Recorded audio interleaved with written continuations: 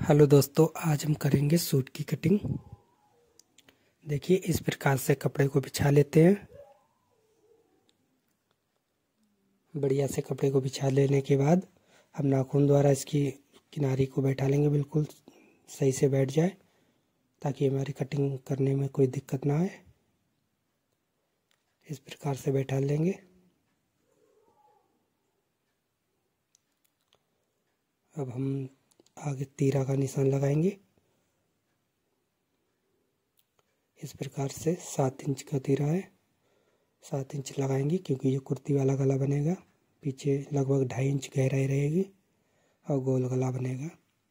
इस पटरी के द्वारा हम सीधी लकीर खींचेंगे। अब हम मुड्ढे के लिए लगभग छः इंच का निशान लगाएँगे। यहाँ पर भी हम सीधी लकीर खींच लेंगे। अब हम चेस्ट का निशान लगाएँगे, जो कि सत्रह इंच है तो सत्रह का निशान ये लगा लिया हमने। साढ़े आठ इंच अब लगभग इसकी कमर की लेंथ की लंबाई तो ये हम रखेंगे बारह इंच और यहाँ पर बीच में हम रखेंगे साढ़े चौदह इंच सवा सात का निशान लगाएँगे। यहाँ पर साढ़े सत्रह इंच पौने नौ पर निशान लगाएँगे, पौने नौ पर।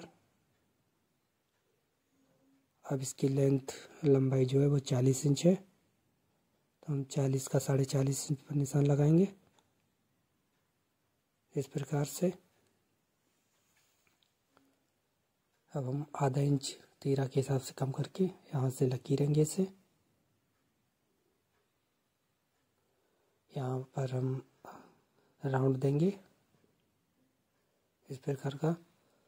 और हम इस प्रकार से ऐसे करके इसे तीनों निशानों को मिला लेंगे ताकि राउंड अच्छा आ जाए। अब हम नौ इंच का नीचे दावन यानी कि अठारह इंच दावन है जो, वो अठारह इंच रहेगा नीचे का। तो उसको, उसका भी निशान लगाएँगे। अब हम सीधी पटरी द्वारा इसे लकीर लेंगे। इस प्रकार से डेढ़ इंच का दबाव छोड़ते हुए उस साइड पे हम लकीरेंगे।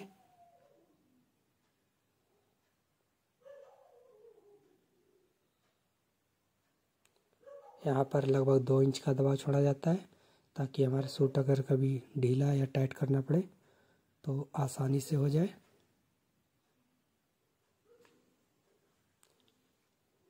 ये सत्रह इंच है, यहाँ पर साढ़े चौदह इंच रहेगा कमर पर। और हिप पर रहेगा, साढ़े सत्रह इंच। तो ये साढ़े सत्रह लिख लिया हमने। बनाते समय भी हमें यही ध्यान देना होगा। अब हम निशान से कट कर लेंगे।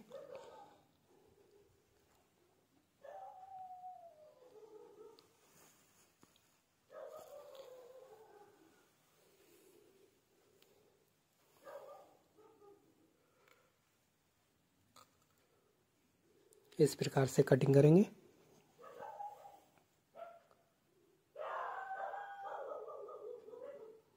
यहाँ से कट कर लेनी है।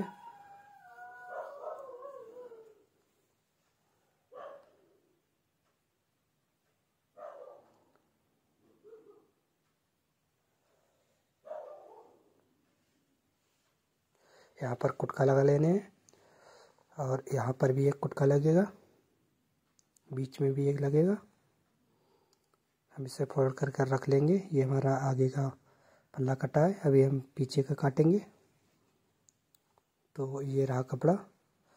इसमें सिमटे बहुत ज़्यादा हैं। तो हम इस प्रकार से बिछाएँगे। फोल्ड करेंगे इसे। इस प्रकार से और इसके सिमटे निकालने की कोशिश करेंगे। अगर निकल गया तो सही है, वरना हम दूसरी साइड से काटेंगे।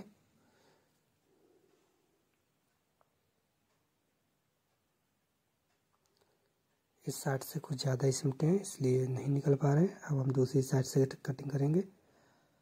इस तरफ़ से सिमटा कम है तो इस इस तरफ़ से कटिंग कर लेंगे।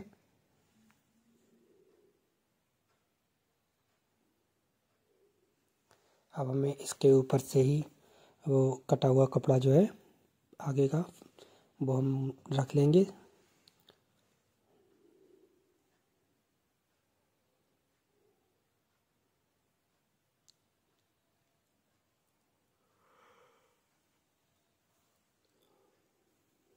इस प्रकार से हम इसके ऊपर से रख लेंगे।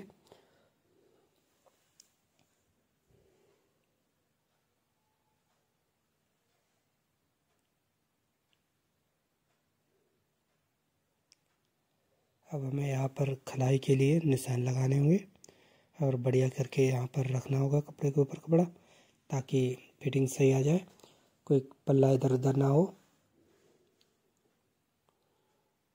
बढ़िया से मिलाने के बाद हम चाक से निशान लगा लेंगे। आधा इंच छोड़कर इस प्रकार से यहीं से हमें कटिंग करनी है।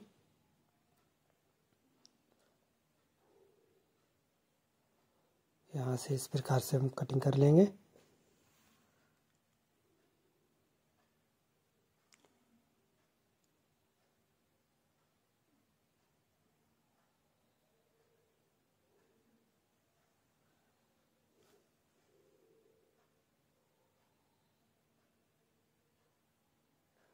अब हम यहाँ से कुट के उठाएँगे।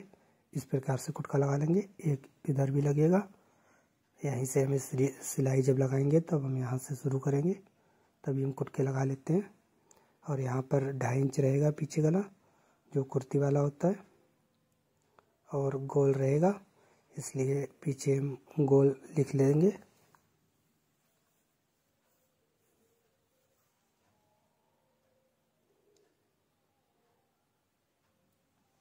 अब हम बचे हुए कपड़े से आस्तीन बैठा लेंगे।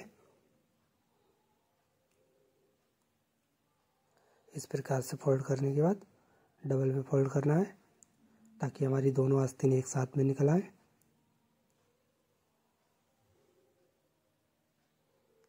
इस प्रकार से उसके जो सिमटे हैं वो हाथ द्वारा इस प्रकार से सही कर लेंगे, क्योंकि हमारे पास मौजूद प्रेस नहीं थी वहाँ पर, इसलिए हमने हाथों से ही सफ़ाई करने की कोशिश की। अगर आप लोगों के पास प्रेस है तो प्रेस से साफ़ कर लीजिएगा। अब इस प्रकार से हमें चाक से राउंड निशान लगा लेना है।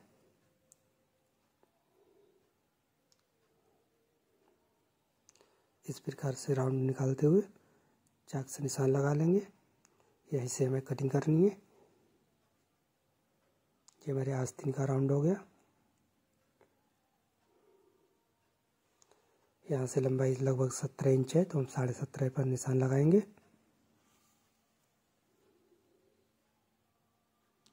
साढ़े सत्रह इंच पर और एक इंच का हम दबाव छोड़ते हुए, क्योंकि हमें फोल्ड करनी है आस्तीन और यहाँ पर मुड्डा जो है साढ़े सात इंच है तो साढ़े सात इंच का निशान लगाएँगे। इधर आगे की तरफ़ चार इंच, साढ़े चार इंच है तो साढ़े चार का निशान लगा लेंगे। अब हम इस पटरी के द्वारा खींच, सीधी लकीर खींच लेंगे। ताकि हमें दिक्कत ना हो। यहाँ से हम निशान लगा लेंगे और फिटिंग के लिए हमें यहीं से सिलाई लगानी है। और ये लगभग डेढ़ इंच का दबाव छोड़ना है ताकि आस्तीन कभी ढीली या टाइट करनी पड़े तो हमें दिक्कत ना आए।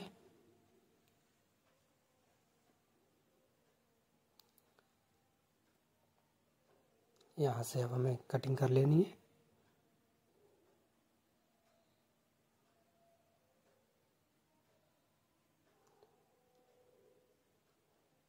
इस प्रकार से कटिंग कर लेंगे।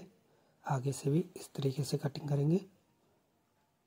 यहाँ पर सवा चार इंच की ढिलाई रखेंगे।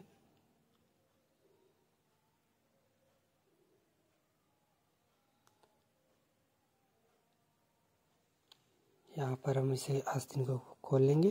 खोलने के बाद यहाँ से हमें खलाई की तरफ़ आधा इंच का कपड़ा कट करना है।